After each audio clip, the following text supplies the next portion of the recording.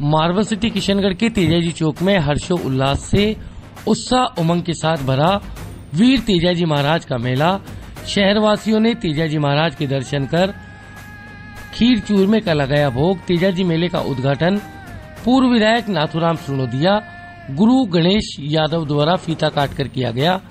वीर Teja club के पदाधिकारियों व कार्यकर्ताओं ने अतिथियों का स्वागत किया। पूर्व विधायक नाथुराम सिणोदिया ने तेजाजी महाराज की जीवनी पर प्रकाश डालते हुए कहा कि सत्य के मार्ग पर, वचनों पर अडिग रहते हुए तेजाजी ने अपने प्राण न्यौछावर कर दिए।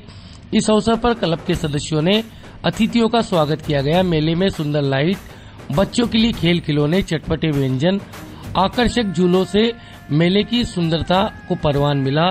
इस अवसर पर हीरा सिंह, राजू, कमल गन्नाराम यादव, हेमराज, फुलवारी, पिंटू यादव गिरिराज शर्मा, जितेंद्र तिवारी, शुभम चौधरी, राहुल रुपेश यादव, निपुण शर्मा, सत्तू यादव, कैलाश यादव, संजू गोपाल, यादव पेरक यादव, वैभव शर्मा सहित बड़ी संख्या में क्षेत्रवासी मौजूद रहे। बता दें, वीर तेजा क्लब के तत्वाधान में इस अवसर पर विशाल भजन संध्या का भी आयोजन हुआ।